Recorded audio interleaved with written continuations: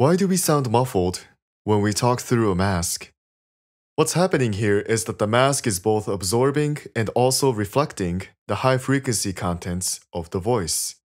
This is similar to what happens when your housemate in the next room is blasting music and it sounds muffled in your room. The high frequency contents of the music, such as cymbals, are absorbed and reflected by the walls and lower frequencies can travel further.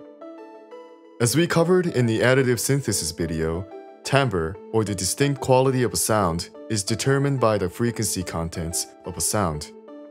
Timbre is what allows us to distinguish between a guitar and a piano. When frequency contents are filtered or made quieter, the timbre is altered.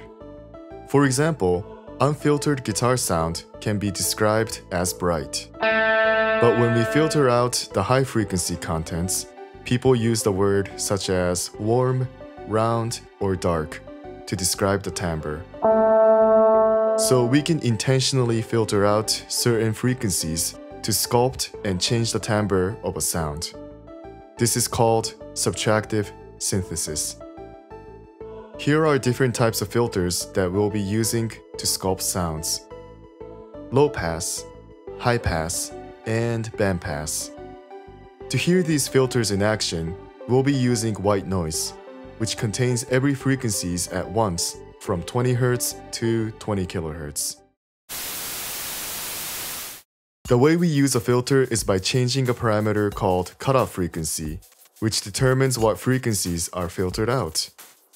In the case of low pass, any frequencies above the cutoff frequency will be filtered out. Hence, the lower frequencies are passing through. So how do you think high-pass filter works? The frequency contents below the set cutoff frequencies will be filtered out. Hence, higher frequencies passing through. Okay, let's hear it in action. Let's use a filter in Ableton. Let's try 1000 Hz as the cutoff frequency for this low pass. As we can hear, the sound is muffled because all the frequency contents above 1000 Hz are filtered out. So, in a way, your mask or the wall between you and your housemate are a low pass filter. Okay, let's try high pass filter. If we set the cutoff frequency to, let's say, 4000 Hz, we cut off all the frequencies below that value away. So you get a very sizzly type sound with no bassiness. The third type of filter that we can use is bandpass filter. It allows certain range of frequencies to go through and filters out everything else. When you set the cutoff frequency as 440 Hz as an example, frequencies that are below and above are filtered out.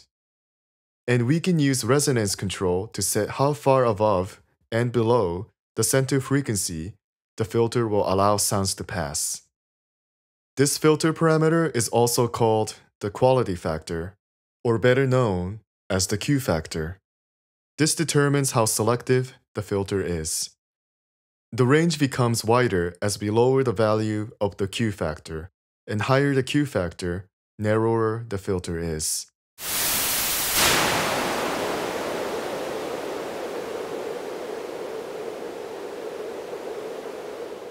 And low pass and high pass filters can have the Q factor parameter as well. When we increase the Q factor in a low pass filter, we see the cutoff frequency becoming more and more amplified and focused.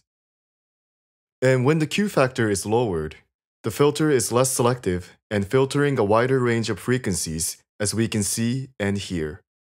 Remember, the Q stands for quality, as in the quality of the filter.